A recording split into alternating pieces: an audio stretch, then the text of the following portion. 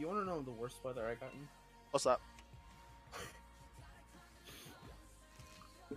I was talking with my friend about a game we were playing. I don't remember what game it was. But I remember I've been hyped for this game. We got it! like- We got it! Ooh! You're freaking kidding me. I screamed. My bad.